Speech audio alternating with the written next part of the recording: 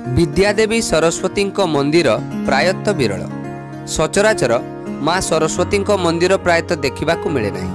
କିନ୍ତୁ ସେହିଭଳି ଏକ ବିରଳ ମନ୍ଦିର ଦେଖିବାକୁ ମିଳେ ମୟୂରଭଞ୍ଜ ଜିଲ୍ଲାର ଉଦଳାଠାରେ ଯାହା ବାଣୀପୀଠ ଭାବରେ ପରିଚିତ।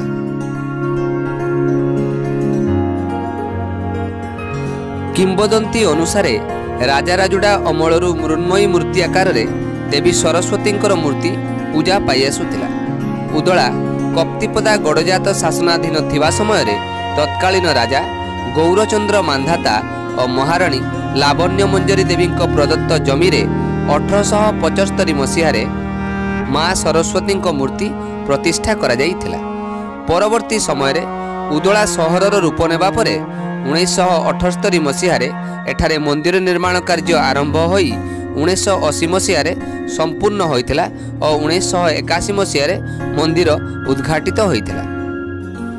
ପ୍ରତିଦିନ ପୂର୍ବ ନିର୍ଦ୍ଧାରିତ ନିର୍ଘଣ୍ଟ ଅନୁସାରେ ପୂଜା କାର୍ଯ୍ୟ ଅନୁଷ୍ଠିତ ହେଉଥିବା ବେଳେ ଶ୍ରୀପଞ୍ଚମୀ ବା ସରସ୍ୱତୀ ପୂଜା ଦିନ ଏଠାରେ ବିଶେଷ ପୂଜା ଅନୁଷ୍ଠିତ ହୁଏ।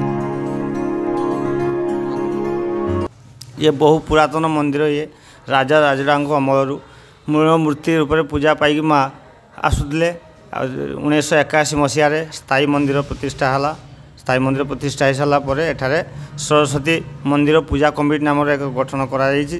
ସେହି ସକାଶେ ପ୍ରତିବର୍ଷ ଶ୍ରୀପଞ୍ଚମୀ ଦିନ ମହାସମାରୋହରେ ଏଠାରେ ପୂଜା ମହା ଆଡ଼ମ୍ବରରେ ପାଳିତ ହୁଏ। ଭୋର ପାଞ୍ଚଟା ତିରିଶରୁ ମାଆଙ୍କର ନୈମିତିକ ଉପଚାର ହୋଇ ସାତଟା ପାଖରୁ ସମ ନୂତନ ବିଦ୍ୟାର୍ଥୀମାନଙ୍କର ନୂତନ ବିଦ୍ୟା ଆରମ୍ଭ ହୋଇ ଶ୍ରଦ୍ଧାଳୁ ଭକ୍ତମାନଙ୍କର ପୁଷ୍ପାଞ୍ଜଳି କାର୍ଯ୍ୟକ୍ରମ ହୁଏ।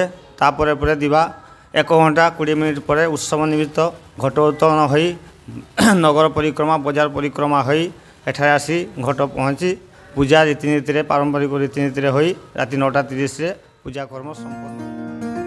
ମାଘ ସପ୍ତମୀ ଅବସରରେ ଏଠାରେ ମା ସରସ୍ୱତୀଙ୍କ ସାରିକା ଯଜ୍ଞ ଅନୁଷ୍ଠିତ ହୁଏ। ଏଠାରେ ଦେବୀ ସରସ୍ୱତୀଙ୍କର ମୃନ୍ମୟୀ ମୂର୍ତ୍ତି ମନ୍ଦିର ସମ୍ମୁଖସ୍ଥ ମୁଖଶାଳା ଆଦି ବେଶ୍ ଆକର୍ଷଣୀୟ।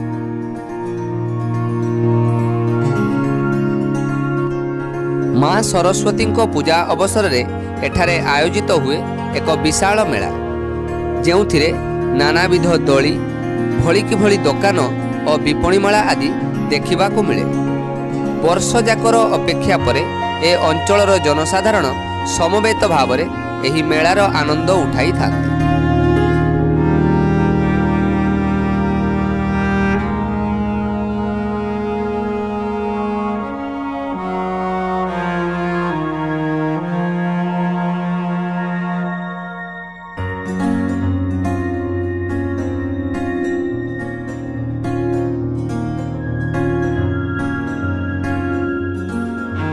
ଯାତ୍ରା ଦୋକାନ ବଜାରର ଭିଡ଼ରେ ଲୋକାରଣ୍ୟ ହୋଇ ଉଠେ ଉଦଳାର ଏହି ସରସ୍ୱତୀ ମେଳା ପଡ଼ିଆ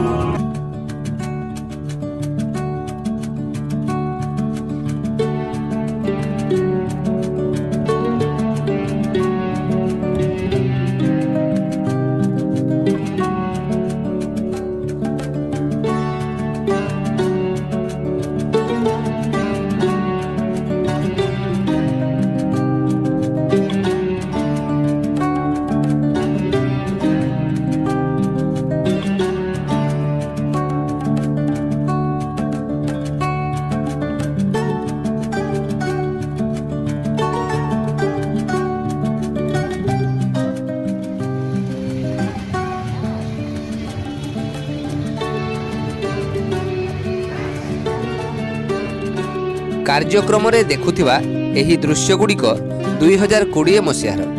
ଗତ ଦୁଇ ବର୍ଷ ଧରି ମହାମାରୀ କରୋନା କଟକଣା ଯୋଗୁଁ ଏଠାରେ ମେଳା ଅନୁଷ୍ଠିତ ହୋଇନାହିଁ। ଆଶା କରୁଛୁ ଖୁବ୍ ଶୀଘ୍ର କରୋନା ମହାମାରୀରୁ ବାହାରି ପୁଣି ଥରେ ଆନନ୍ଦ ଉଲ୍ଲାସର ସହିତ ଜନସାଧାରଣ ଏହି ମେଳାର ମଜା ନେବାର ସୁଯୋଗ ପାଆନ୍ତୁ।